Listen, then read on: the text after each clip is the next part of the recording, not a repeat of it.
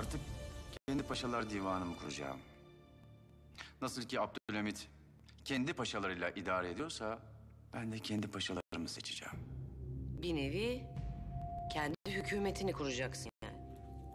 Evet, aynen öyle. Artık yalnız oynamak yok. Abdülhamit'i tek başına bırakana kadar bütün sadık olan adamlarını alacağız. Bana bazı paşaların elinizde olduğunu söylemiştiniz. Şimdi vaadinizi yerine getirin. Hangi paşadan başlıyoruz? İşkodralı. Abdülhamit'e sadık değil mi o? Sadık. Ama herkesin bir zayıf tarafı var. İşkodralı'nın mazisinde de bazı karanlık taraflar var. Ve eğer karanlık tarafların aydınlatılmasını istemiyorsa sana itaat edecek. Zaafı ne? Yunan Harbi'nde Osmanlı'ya ait bazı silahlar kaçırıldı.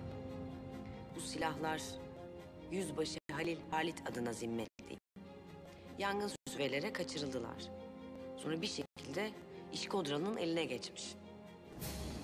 Ve o bunları satmak istedi.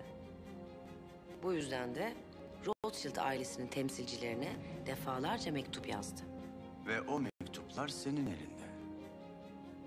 Evet. İlk önce onu ele geçireceğiz. Sana itaat etmek zorunda.